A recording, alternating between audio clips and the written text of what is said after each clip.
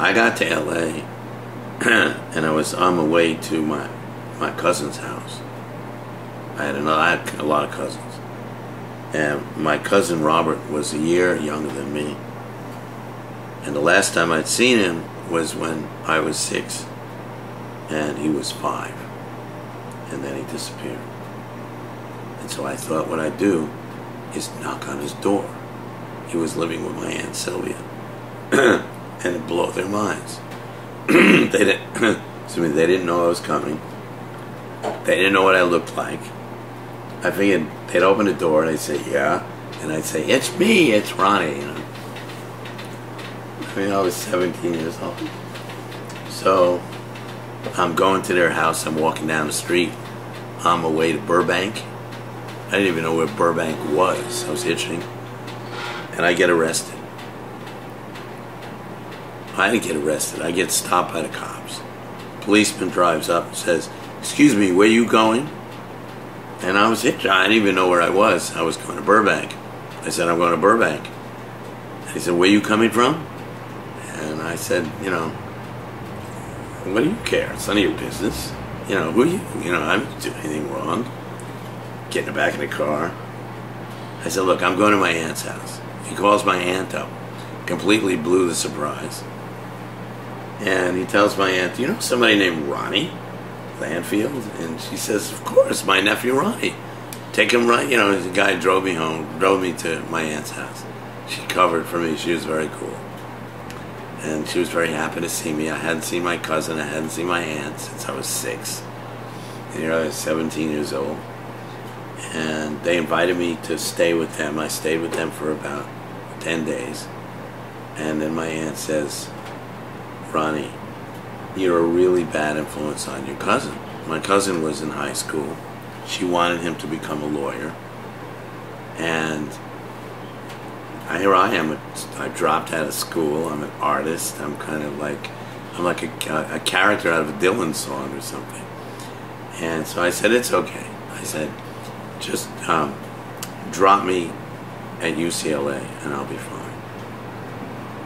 So she drove me to uh, Westwood to UCLA, and she dropped me on the campus. And what was in my head was, I I, I, I like this uh, story. A little, it's all very vague. I mean, this is 1964. How many years ago was that? Nearly 50 years ago, man. I mean, it's like, uh. Anyway, she drops me on the campus. When I was a kid, when I was a little kid, my parents used to take me to this hotel in the Catskill Mountains. And one summer, there was a guy there named Gary Beckman. And Gary, he was 15 at the time. He was the lifeguard at the pool. Gary's ambition in those days was to go to UCLA. And I figured Gary was at UCLA. I mean, it was, that must have been 1961 or 60 when he said he was going to go. And so I figured he went. And I figured if my aunt dropped me on the campus, I'll find Gary. So I looked for Gary, and he was not a student. But he was a former student. And so uh, they gave me a number where they th- thought I could reach him. In the meantime, I went to the art department check it out. And at the art department, I met a couple of girls, and they asked me if I needed a place to stay. And they put me up in their apartment. And I think it was the first day I was there. It might have been the second day I was there at the UCLA art department. but I got into a fight with Billy Al Bengston, who I would call a complete moron. And you can leave that in. Bengston and I start fighting over what's better, LA art or New York art. I mean, give me a break. This guy's 35 years old. He's probably teaching there. I'm a 17 years old, New York City kid, and we're having this fight over what's better, the New York art world or the LA art world. And I'm saying it's all plastic, and he's telling me it's all like this kind of like egotistical shit, and we're we're going at each other. And this guy comes along and breaks us up, and takes me for a ride. I go with him. He and it was great. He takes me to the Ferus Gallery. I got to see. I think was, as I remember, there was. I remember these Lichtenstein landscapes, which were uh, maybe it was a show of Lichtenstein. It was the first time I'd ever been to Ferus. He takes me to the Dwan Gallery. I saw Kenny Price's work for the first time. He takes me up and down to the, gal- the hip galleries in La Cienega, and then he took me back to to UCLA. I mean, it was like a, a way of calming things down, breaking up the fight, and introducing me to the LA art world, which is very kind of him. And um, and I still remember that very vividly, you know. Um, so soon after, I got seriously bored with LA for good reason. I mean, the weather never changes. It's it's 80 degrees every day, which after a while you grow tired of. So um, I did find my friend Gary Beckman. He was uh, had left UCLA. He was living in LA. He got so excited that I was there. He insisted I stay with him. I stayed with him for about a week, and uh, I remember his girlfriend Brenda. She was a sweetheart. And I said to Gary, uh, I'm out of here, man. He drove me to Malibu, and I hitchhiked up to San Francisco. You've probably seen his photographs of me when I was 17 in that catalog that the Butler Institute produced. There's a picture of me, and that Gary Beckman took that picture as I started to hitchhike up to San Francisco. And in my bag, I had a whole bunch of work in my bag that I had been doing at my aunt's house and in, at Gary's house, and I continued in when I wound up in Berkeley. This was me trying to find my own voice. What I had started doing was I was experimenting with crayons because I, I couldn't paint on the road. And I had crayons and I was doing hard edge. I was beginning to go these hard edge stripes. That's why I like David, uh, David Simpson's work. He was one of the first people whose hard edges I saw. And I was kind of contrasting that against kind of painterly um, scribbles that would be like kind of shapes that were kind of abstracted. So it was a contrast between the ground, hard edge stripes. and I should say, before I left New York, um, I met Hans Hofmann at Kootz. This was in that period when I was looking for Gary, uh, my friend Gary, and I was thinking about going to California.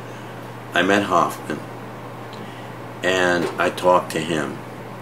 And the very last paintings that I did on Bleecker Street in the Bowery were these Hofmann esque works on paper. They were oil paint where I stained the oil.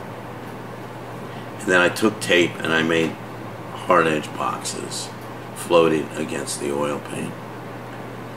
Uh, floated against the stain.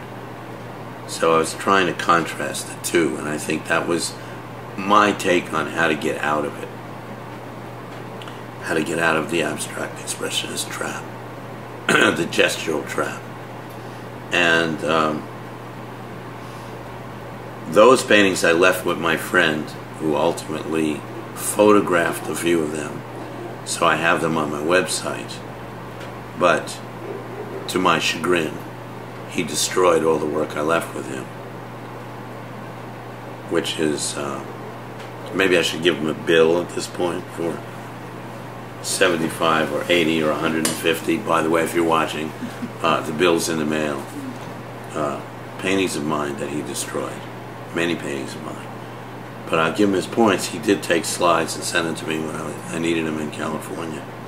After he visited me in California, pissed off every friend I had, and came back to New York. Charming. At any rate, um, um, You want to stop for a minute or so? No, Huh? no, no. After I hitchhiked to San Francisco, um, I got bored in San Francisco. I had a I had a cousin, another cousin, different cousin, who gave me a job, and he he does market research. So I was doing market research, which entailed calling people on a telephone and asking questions. And I was living with his boss, who was picking, who was kind enough to put me up. Then I was living with some woman who worked for their company. She was also very kind and put me up. I remember, I think I even slept in her bed. I mean, she was so sweet. Her name was Marty, weirdly enough. But I got bored. And I decided to check out the Art Institute. I needed to check out the Art Institute. Because, you know, for a 17 year old kid, that was art. You know, you go to art school. And so I went, checked out the Art Institute. It was in the evening. And I had another cousin who I'd heard was uh, living and going to school in Berkeley. And to me, like New York City, Brooklyn, San Francisco, Berkeley. I thought Berkeley, like Brooklyn, was just like a, you know, get on a bus, you go to.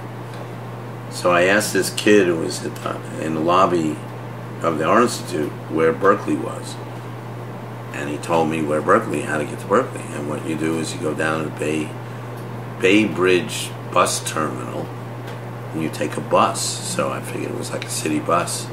I didn't realize you had to go over the Bay Bridge and it was a so I took a bus to Berkeley, and again, to keep this tape clean, I'll skip over what I did that night with this girl that I met on the bus.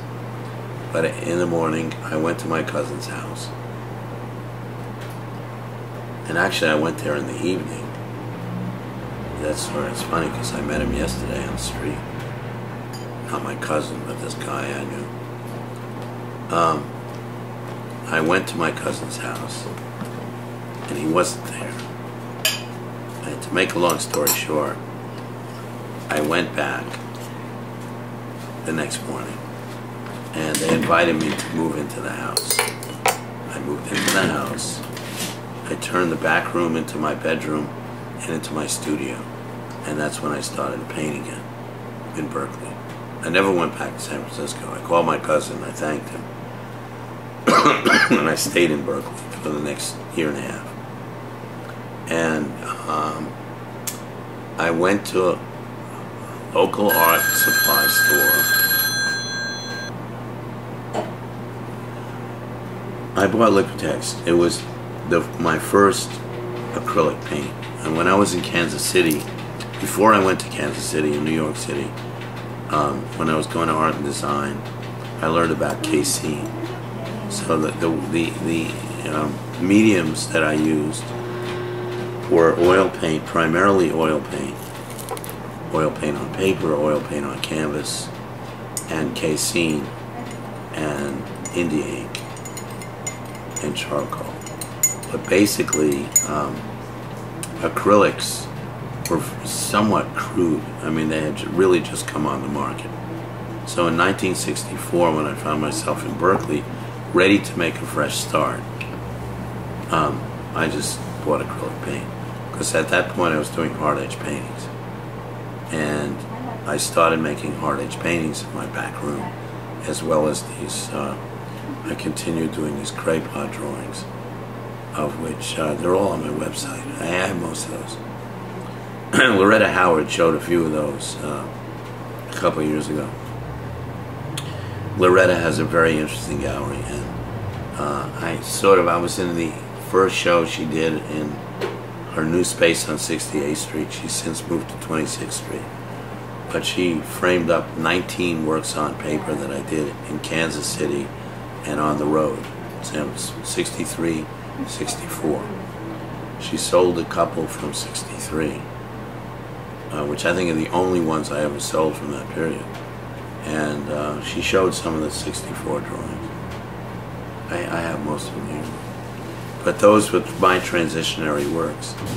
And um, that moved me into finding my own voice. Changed my life. Stephen Green. When I eventually enrolled at the San Francisco Institute, I remember uh, I was painting in the painting studio on this big hard edge painting, which is about seven feet high, six feet wide. And this kid who was painting in the same studio asked me if I'd heard about the post painterly abstraction show. I said no, I didn't.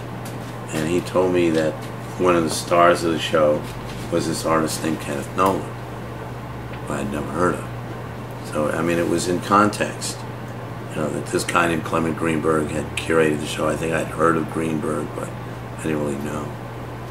So I was doing hard edge paintings and stripe paintings before I'd ever heard of Kenneth Noland or Gene Davis for that matter. Well, no, I think I knew Gene Davis.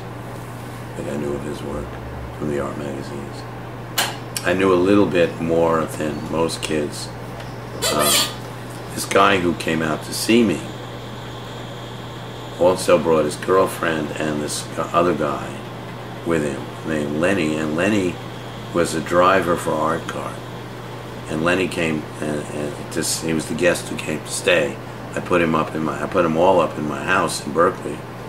And Lenny used to tell me about Neil Williams and he used to tell me about these artist studios that he had visited.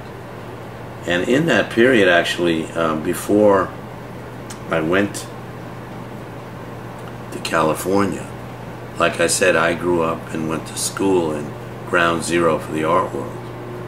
Uh, Tom Wesselmann was teaching in my high school, and Tom was showing at this gallery called the Green Gallery, which is right up the block from Art and Design. So my friends and I, or my friend and I, we often go to Green Gallery and we would ask Dick Bellamy to take out Wesselmann paintings and show us what he had, and we'd go in the back, and Bellamy would show us stuff. and then in the interim, when I was sharing the, the loft from Leland Bell with this guy, with this friend of mine, um, during that fall of 1963, in the period where Kennedy got shot, uh, I remember working every once in a while they needed extra help at Art Cart. So they they'd give me, uh, you know, a day. And I remember going to Jim Rosenquist's studio. Uh, you know, this is unforgettable stuff. And moving his second show, which included the sculpture Tumbleweed, which is a very famous sculpture he made out of barbed wire. And we, we moved that show from Jim's studio down on, uh, I guess, River Street, wherever he was, up to uh, the Green Gallery on 57th Street. So in those days, I was a 16-year-old kid, but I met Rosenquist, and we've been friends really, or you know, hi, how you doing, ever since. Uh, Jim's a terrific person, and I remember I once met his father, and his father knew who I was, and it really blew me away. This was like 30 years ago. Um, and those were the days.